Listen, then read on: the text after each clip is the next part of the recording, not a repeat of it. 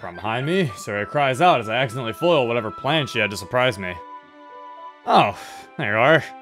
You took so long, I ended up falling asleep waiting for you. I wasn't that late. Only had to stay after. Only had to stay after for five minutes at most. You just need to get more sleep. Maybe. Let's just get going. Alrighty. Have you finally thought of an apology? Yeah, I did. How does sorry you're so irritable sound? Hmm. Your real apology better be much better than that. I know, I know. That was honestly the best I could think of. yeah, two girls uh, like Kamuko's hanging out with her boyfriend. Well, then maybe he just stole the name Kamuko. so either, so either it's Dreams that, wild. so either it's that she doesn't exist or she does exist, but he likes to pretend like they're friends. Or he just stole the name Kamiko because he heard overheard mean, the name in the Kamiko. dream- her, in she, the her dream name he was, was- her. And yeah, in the dream he was talking about how Sayori had a boyfriend. So I feel like he's switching the roles around. He's the guy who hangs out with her. He's the guy who hangs out with with Sayori. With Sayori?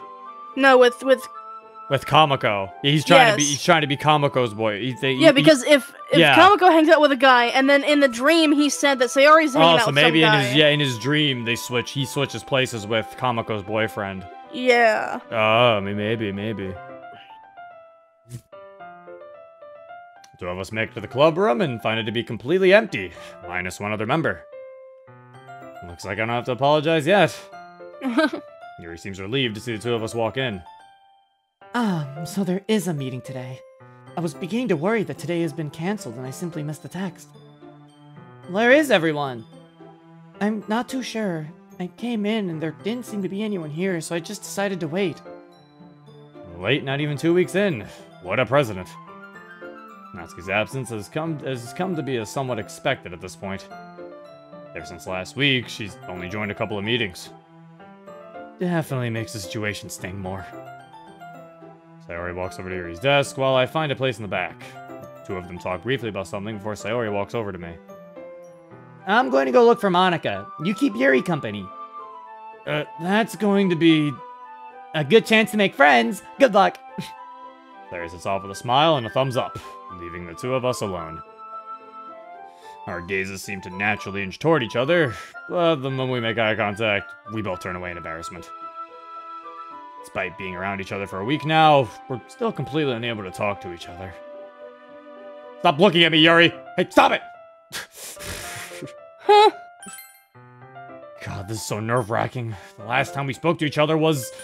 Ah, just thinking about it makes my face twist up in embarrassment. The two of us continuously go in to make conversation, but chicken out the moment we realize we're looking at each other. Begin to worry that this will go on until Sarah returns, but Yuri manages to break the curse and say something. So, we haven't spoken privately in a while. Yeah, we haven't. Guess we've been too busy with club activities. Mm-hmm. I hope Monika turns up soon, or else we'll need to cancel today's meeting. She's probably fine. Might have just caught and caught up by some friends. Kill me, kill me now! Everything the two of us says feels extremely forced and robotic. Each of us simply ping-ponging off what was said right before.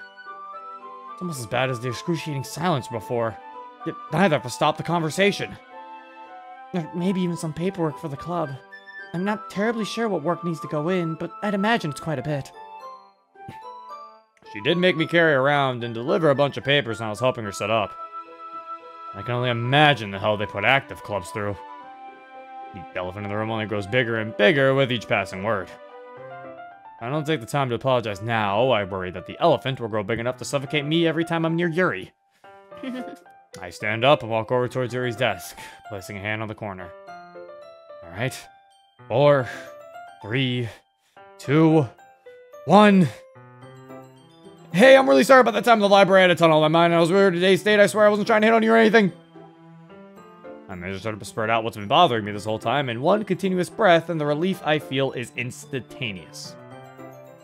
Carrie looks surprised by how easily I seem to mention the topic, and her gaze remains glued to the floor as she pushes out her own response. It's alright. I figured you weren't that kind of person after our second club meeting. Sayori and Monika both seem to like you a fair bit, so I can't imagine you being like how I originally thought. She plays with her fingers as if she's performing some kind of secret ninja technique as she speaks, the blush on her face growing brighter and brighter, with each word she articulates. Hearing her accept my apology feels as if a gigantic weight has been lifted off me, as I can practically feel the tension between us evaporate. The two of us make proper eye contact for the first time, and Yuri gives me a sincere smile, one that I can't help but return. In this moment, I'm reminded once again of her natural beauty, but that there's also a gentleness to Yuri. She's obviously not too big on people, and if I had to guess, finds her comfort in her own mind more than potential friends. In that regard, she's very much like me. Oh no, we're getting close to Yuri, you know what that means. get close. The cycle with this MC is get close to girl.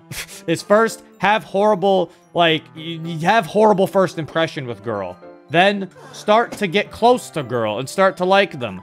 Then somehow finds a way to fuck it up. Yep.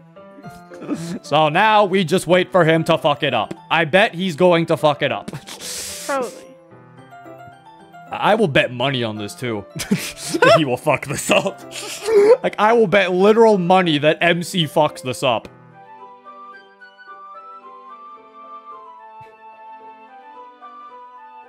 How much progress have you made in your book so far? Book? Oh god, our books! I've been so caught up on the Natsuki thing that I hadn't even made a dent in my book. Do I even have it with me? I think I just threw it on my desk and left it there. You didn't get to it? I suppose some people would be too busy. Do you have too much homework to focus on? Nah, I just, oh my god, I forgot about my homework too. Yuri giggles, clearly amused by my scattered brain responses. You and Sayori seem very much alike. It's little wonder how you two became such great friends. You've got your story wrong. I'm like this because of Sayori. Her airheaded behavior starts to rub off on you after enough time. I bet five Monopoly dollars you'll fuck it up. That's a lot of Monopoly dollars, man. Monopoly dollars. She seems to think something over in her over she seems to think something over in her head, I think, before continuing. That might be true, if you mind keeping this a secret. Yuri waves her hand towards me, indicating she has something she wishes to share privately. I lean in close. I've been forgetting to read mine too. Yuri, you naughty girl! Yuri not reading your book? Yuri seems to be the most composed out of us, or at least the equal to Monika. Her being forgetful strikes me as something equivalent to Sayori controlling her appetite. An anomaly. At the same time, it fills me with a sense of elation. It feels as if I've seen a side to Yuri that someone wouldn't usually. I'm usually much better at keeping track of time. But the moment I get home, I just get so lost in thought that when I come to, there's barely enough time to even sleep. Ah, I get like that sometimes. Though I'm usually looking at some sort of form board and just get lost in a long chain of comments. Then all of a sudden, it's 4 a.m., and I've spent the day tracking fan art down, so at that point, I've gotta trudge through the night. Yuri reaches down and begins to sift through her bag, quickly pulling out, presumably, her assigned book. Well, while we have the chance, I should try and make up for lost time. Taking a look at the book's cover, I quickly reali- re- recognize what Yuri chose. Sayori, huh? In her hand, she holds a copy of The Great Gatsby.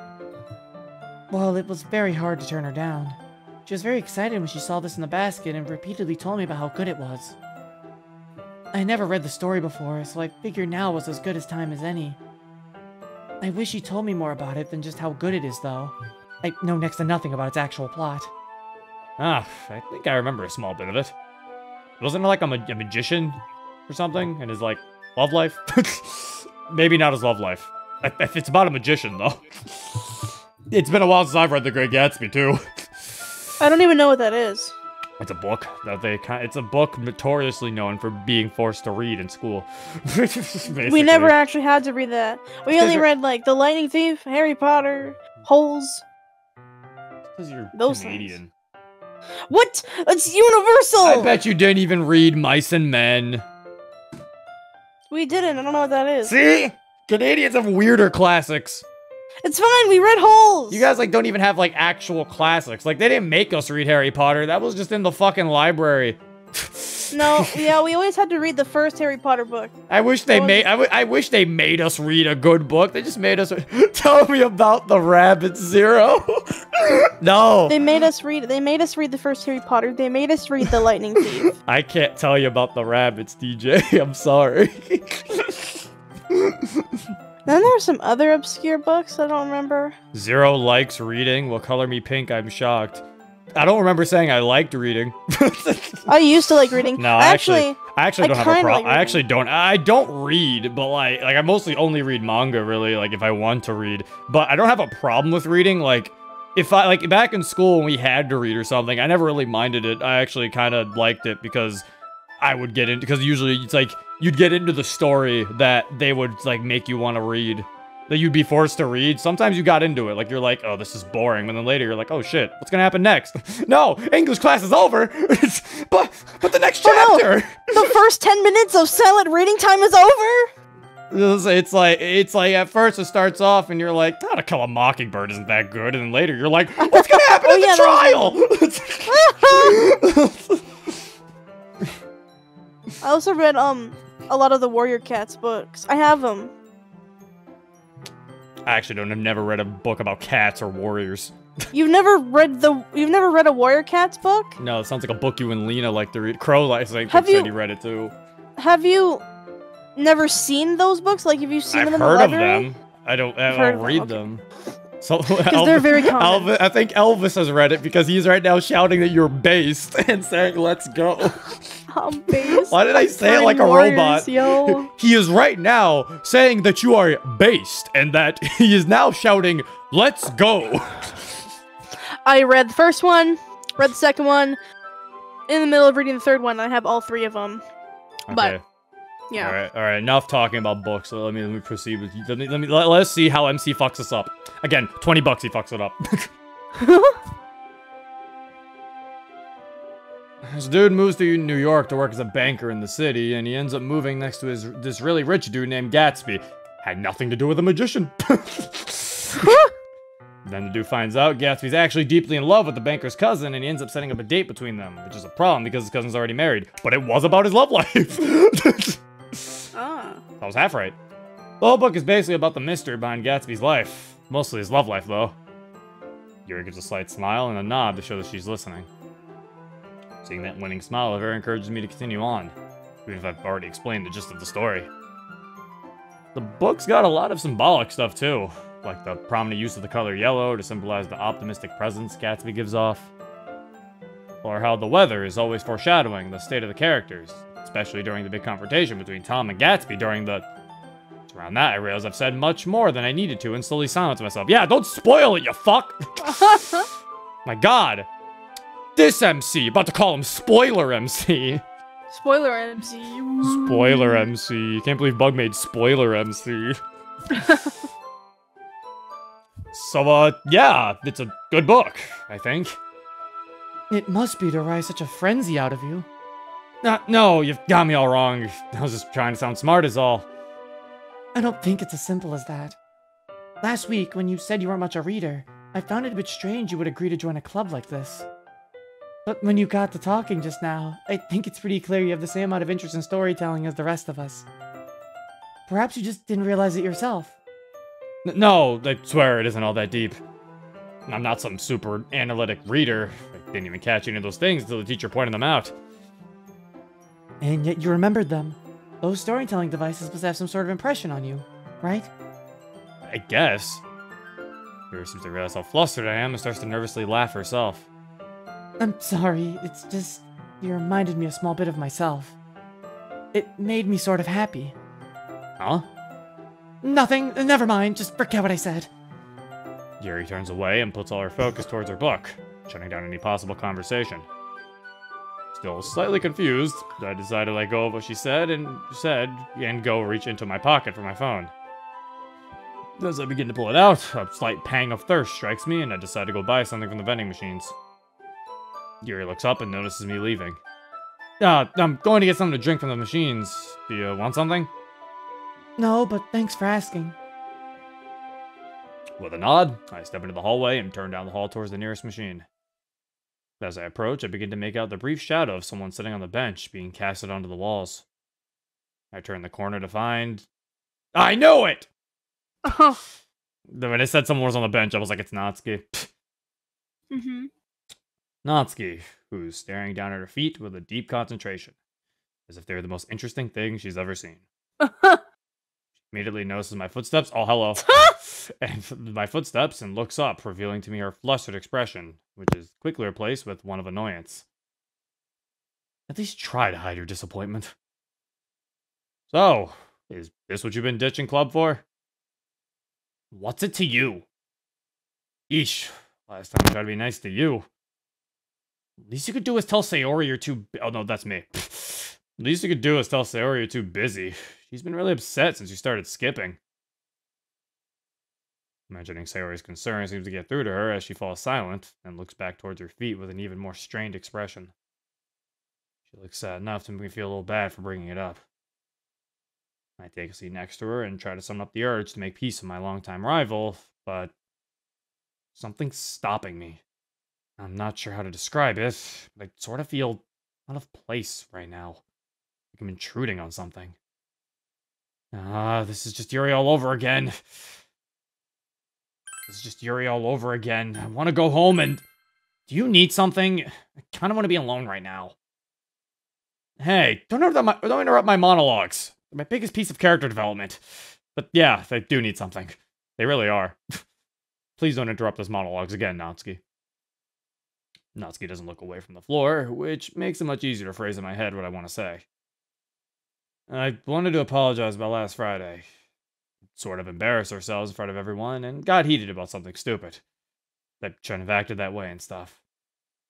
It's a bit late to apologize, don't you think? Hey, at least I'm trying.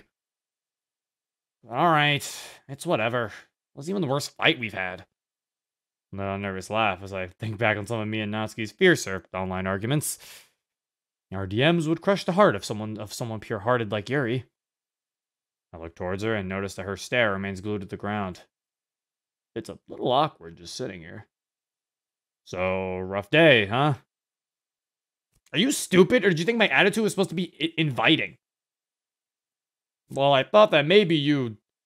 Thought what? That I'd want to talk to you of all people? There's an increasing level of anger in her voice, and I begin trying to backpedal to avoid another fight so soon after my apology. No, but I was trying to...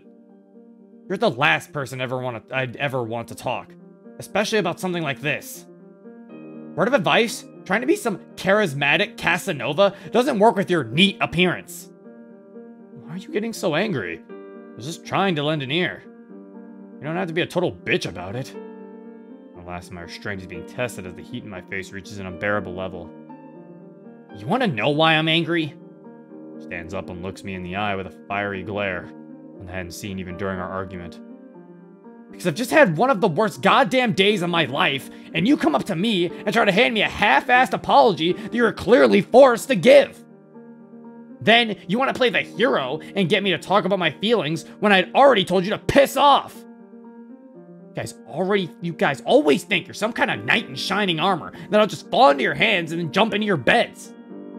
I apologize to you because I felt bad about blowing up at you. And you not only didn't apologize yourself, but started throwing accusations at me. Don't think you'd be a child and have a temper tantrum just because stuff's not going your way. And what guy would he be interested in someone like you anyways? I also just date another dude. Natsu begins to sh shiver with anger, and I feel an increasing desire to punch the girl in front of me. She balls her hands to the fist and delivers a punch directly in my face. More specifically, my left eye, which knocks me onto my back. See, I told you he was gonna get punched eventually. Ow! What the hell? I hit the cold tilting of the hallway and watch as Natsuki's face contorts into various forms of anger. You... She manages to get out a single word before a stream of tears makes its way down her face, and she sprints off towards the stairs, leaving me on the floor, extremely confused. I manage to pull myself to my feet and decide to give up on grabbing something to drink. I trudge my way back into the club room, clutching my eye in pain. Yuri looks up, most, most likely expecting Monika and Sayori to come through, and is shocked to see me walk in injured instead. secretary, what happened to your eye? Ah, crap. Did she leave a bruise? Yuri puts away her book and rushes over to me, looking over my bruised eye with a motherly concern. Did you hit your head on the way here? This looks really bad. Nah, I just ran into our club's resident goblin and she socked me hard. Definitely a lot of power in that girl's right hook. Goblin? Do you mean that Natsuki did this to you? Yeah, found her sitting on a bench and decided to ask her about why she was ditching club. It kind of got heated, as you can see. I guess she had a bad day. But even then, to punch you in the eye for trying to ask feels out of character for her feels out of character for her. Well, we've only really gotten to talk to her for like two days, so I guess you misjudged her. So far, she seems to just be a big bitch. Yuri winces at my casual profanity, and I start to regret being so aggressive in my phrasing. Seems unsatisfied with my analysis of Natsuki, but doesn't look like she'll argue further. That aside, we should deal with the swelling. Hold on, give me a moment. Yuri returns to her desk and retrieves a metal container from her bag. She rushes past me and heads down the hall. I decide to take my old seat next to Yuri and wait for her to return, which doesn't take too long. She walks over to me and places the container against my eye, which I instantly realize is freezing cold and recoil violently. I'm sorry, I should have told you how cold it was. It's fine, just surprised me is all. Yuri places the frigid cylinder against my eye again, and it isn't long before I start to feel the pain subside. This is the best I can do. I don't carry ice packs with me, and the nurse has no doubt locked up already, so... Don't worry about it so much, Yuri. Your concern alone is enough to make me feel better. Is that so? Yuri looks away from me as she continues to hold the makeshift ice pack in place. Ah, the shy side of her, to her is so adorable. Sorry about this. You seemed like you really wanted to read your book. You're worrying too much. It's perfectly fine. As time ticks away, Yuri continues to look away from me, occasionally looking back at looking back at me with the same nervous glancing the two of us practiced earlier. It's when I start to wonder why she's so embarrassed that I realize the intimacy of the situation the two of us are in. Where the fuck is Monika? Where the fuck is Sayori? like, I'm more I, I'm more confused where Sayori is because it's like, okay, Monika could likely be busy. So I'm like, okay, so that means she's somewhere. But Sayori's looking for Monika. So if Sayori so if Sayori didn't find Monika, why didn't she just come back? Or if she already did find Monika, why don't she just be like, okay, well, Monika's over there, so Monika's doing this, and then just still come back? Why didn't Sayori come back? That's why I'm more like, where's Sayori? Unless she's still looking, in which case, my god.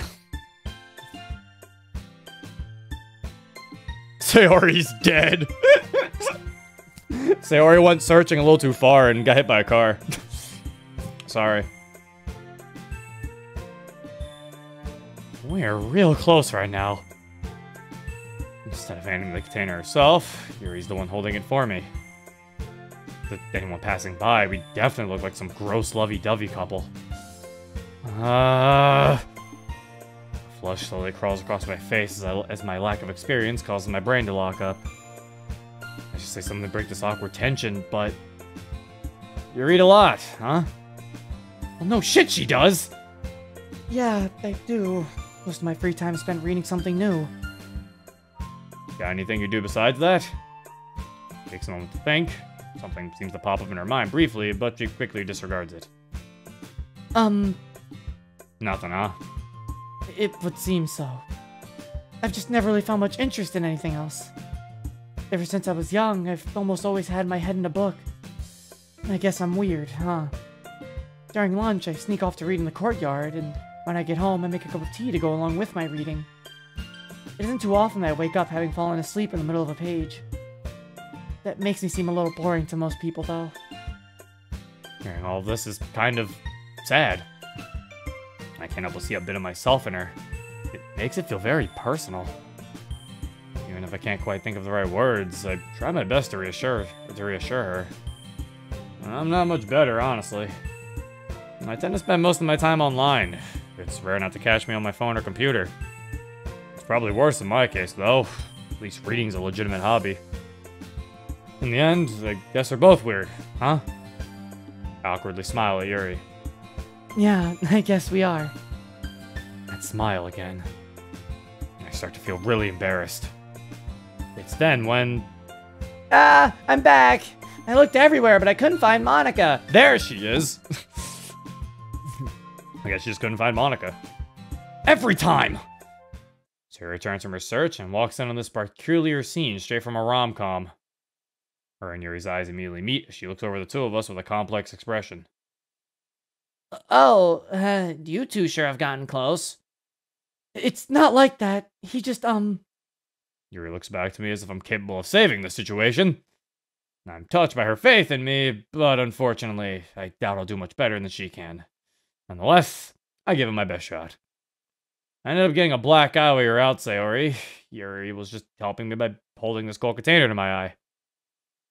Why didn't you just hold it hold it yourself, though? Did you get your arm injured, too? Sayori presses further with more logical reasoning than I'm used to from her, and I can't even begin to form a solid answer to her question. That's... A good question. Why did Yuri hold the bottle for me? Ooh, because Yuri like me. Ooh.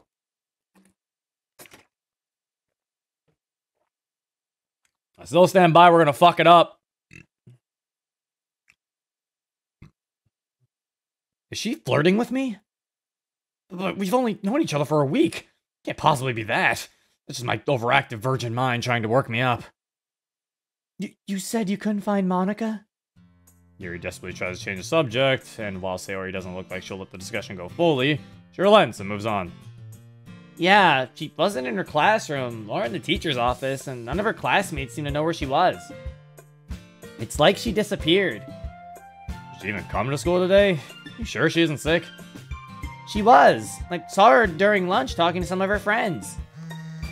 As I say that, Yuri and Sayori's phones both go off, and they pull them out to read whatever notification they've received. Ah, uh, it's a text in the group chat. Monika says that something important came up and she had to leave early. Aw, meeting's cancelled. Wait, there's a club group chat? Alright, well then I guess there's no reason to hang around here anymore. Yeah, MC, there's a club group chat. Maybe if you weren't such a downer, you'd be invited to it. Pack away her book and stands up. I think I'll start making my way home then. I hope your eye heals soon, F. Scott. F. Scott? Now my name's F. Scott. uh, well, you know, because of your speech earlier when I asked about... And secretary isn't really a name, so I thought...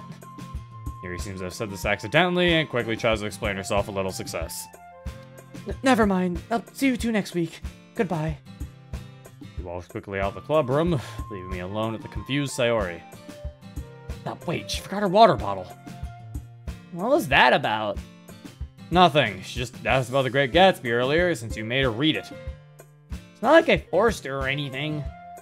She even left her bottle here. Should we just run to return it to her? Eh, we can just give it back to her on Monday. Besides, that means I can keep using it for my eye. Your eye? Ah! What happened to your eye? Slow on the uptake as always, Sayori. Sayori seats herself in the same desk Gary was at while I tell her the story of my war scar. She listens quietly until I reach the end. That doesn't sound like Natsuki at all. There's no way she never. There's no way she'd ever attack someone like that unless they attacked her first. Yuri said the same thing. I don't know what to tell you. Girl knocked me clean off my feet and left me with this mess. Something must be going on. Maybe she's being bullied or failing a class or... Personally, I think I just think she's a undecent person. Wait, why am I censoring myself around Sayori? I even apologized to her about last about it. Uh, I even apologized to her about about last week, but she said it was half-assed. I should text her when I get home. Something's clearly wrong. Look, I don't really care. I'm just saying, so far, all she's done is fight with me and give me a bruise. There's little reason for me to like her. I guess so, but still. Sawyer looks just as dissatisfied with my conclusion as Yuri was, and just like her, her friends are pushing further. Anyways, can you hand me the ice pack? I'm starting to feel the numbness wear off. Oh, here, I can hold it for you. Sayori grabs a container from the desk and hastily aims it towards my face, locking me in the eye with his bottom. Ow! Careful, Sayori! Uh, I'm sorry. I didn't mean to. It's whatever. Just hand me the bottle. Grab the bottle from her hand and hold it to my eye on my own. Give me a minute, and we can start heading home. Alright? Yeah, okay. If you don't mind, I'm going to grab something to drink from the vending machine really quick. Here. Pull out my wallet and hand her a few notes. Figured you wouldn't have any cash on hand, so... Oh, thanks! I'll be right back. Mm-hmm. Sayori rushes out the room, cash in hand, and turns towards the stairwell. Alright, there's machines over there, too. now we play Sayori. What kind of soda does he like? I say this to myself as I look over the selection of drinks in the machine. I'd planned to buy him something with my own cash, but since he gave me some money, I should at least use it. He drinks too much soda in a day, but this is the best apology I can think of. I should have been more careful. I was so caught up on him and Yuri that I... I shake my head and try to get rid of those... I try to rid myself of those thoughts. The more I think about it, the deeper the pit in my chest becomes. Just thinking about the scene between him and Yuri makes me... I'm doing it again. Clicking on one of the selections looks familiar to me. The machine gives out a click, a, a clink as the drink drops to the bottom. As I reach down and grab it, I hear a quiet noise coming from the stairs. I grab the drink and then look over towards the steps to find the source. It's Natsuki! That's Natsuki? She seems to be crying, occasionally letting out sniffles and hiccups. Why does she say that out loud? That's Natsuki? And Natsuki's just like, yes? Why are you shouting? Why are you shouting my name at me? As I start to approach her, she grabs a small metal container that was lying next to her and takes a long sip. Should I go over there? From what he said, she seems to want to be alone right now. I think she just doesn't want to hang out with him. Weighing the options, I decide that I should probably leave her alone and text her about this later, when she's calmed down. No! or not. Besides, I want some time with him too. Oh my god. Sayori, you greed! uh, Ah, so it's another one of those things where it's like they all, where it's like Sayori and Yuri likes MC. Also, yeah, of course, Natsuki wouldn't want to do this. I seriously have to do this? Well, I'm not going to force you, but I'd really appreciate it if you participated. If you're going to be sincere, fine. Can I get a different cameraman? I don't want him to be staring at me with those gross eyes of his. I'm not exactly stoked about this either. But if you just read the teleprompter, you get through it a lot quicker. Whatever. Let's just do this already. Thanks, Natsuki. Good luck out there. Uh-huh. Hey, I'm Natsuki. Welcome to another edition of Poet of the Day. And it's right on her flat chest. Whew, the text worked properly. Though I suppose there's nothing for it to bounce off of. Got something you want to say, jackass? Nope, not at all, gremlin. I'm sure I'll just as excited to learn about old dead guys as I am, so let's just get this over with. And just like that, you've ruined the show's mission statement. Today's featured writer is the famous American poet, Robert Frost, whose legacy extends beyond that of, debatably, any other poet before him. Geez, sounds so stuffy and professional. Who wrote this script? Yuri? Yes, she did. Now read. Alright, alright. Robert Lee Frost was born on March 26th in 1874. His childhood was fairly ordinary, with the exception of his father passing away when he was young. So, you know, pretty standard 19th century childhood. Yeah, basically. During his early high school days, he acquired a love of poetry, which inspired him to further pursue the craft upon admission to Dartmouth. After securing a publication in The Independent, Frost got full of himself and dropped out of college after a year to spend more time on poetry. Married a woman, had some kids, yada yada yada. I feel as if you're not reading the teleprompter. well, no one wants to hear every detail about his life. Sorts of people who tune into the show are already stupid to already too stupid to know who Matsuo Basho is. Really think they care about how Frost become a, became a poultry farmer? I hardly care. I also hardly care about him becoming a poultry farmer, to be fair. okay, okay, I get it. Sheesh. Now you probably now you probably noticed how we haven't mentioned anything about Frost's poems yet, aside from his first publication. That's because Frost's entire life has been one big failure after another. While he did manage, manage to secure a publishing during college, his poetry career hasn't gone anywhere since. Everyone who knew him told him constantly, you know you might not be cut out for this thing. And did he listen? Of course not, because you're sitting there while I'm forced to talk about him. Around the turn of the century, Frost unpended his entire family and moved them across the Pacific to England. He thought people would be more receptive. Luckily, he wasn't wrong. Poet critics at the time fell in love with his works, and his popularity eventually made it back to America. So, after, once again, moving his family, he returned to America and found himself suddenly popular. His poems catered to the industrialization of industrialize, the industrializing America, a job reading teleprompter, by depicting simple everyday occurrences through um col colloquial language and his personification as a wise sage. Colloquial is an adjective referring to the specific speaking dialect of a specific group of people. Also, you pronounce it colloquial. Anyways, Frost's career hit its peak in 1960 when he was awarded a Congressional Gold Medal for enriching American culture. Which was pretty good timing, as Frost would pass away around three years later. Thank God! Don't be so disrespectful to the dead. Besides, it's not over yet. Yet finished with some closing thoughts. Hey, it's not my rule. Don't look at me like that. You want some thoughts? Fine. Robert Frost is a man who had little right trying to be a poet and caused trouble for his family because he refused to get realistic. The only reason he got popular at all was due to plain luck. If you try to retrace the steps yourself, you'll only find heartache and make yourself look like a jackass. But his tale is pretty inspiring to other creative types. And even if it isn't realistic, you'll find success just because you try really hard. His devotion to what he loved was, was admirable serves as a reminder that experiencing failures isn't damning proof of failure of further failure. Alright, I'm done. See you later. Oh, and thanks for watching. I know someone who looks like a jackass. Yeah, Monika.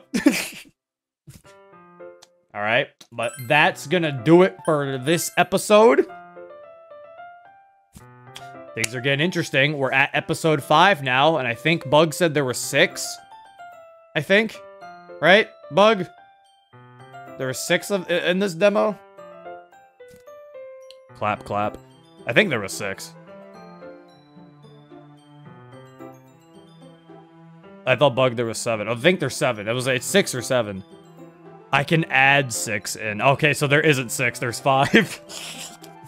I mean, it depends whatever you're comfortable with honestly. If you want to put six in, then you can, but if you don't, that's also fine, because like I said, it doesn't really matter. This is actually a really good, like, thing that we can play, we can watch, and it's a really good, it's a really good mod to play until good ending comes out, honestly. This is really nice, and I'm really enjoying it. So far, it is looking like an A tier. It's a really nice mod. But yeah, that is it for this episode. I hope you all enjoyed. If you want to download this for yourself, the link's in the description below. And yeah, six is one of the climaxes, so I'm worried about people liking. Oh, okay. I mean, you can just have five. We can just end it off after five. But yeah, this has been Zero. Peace.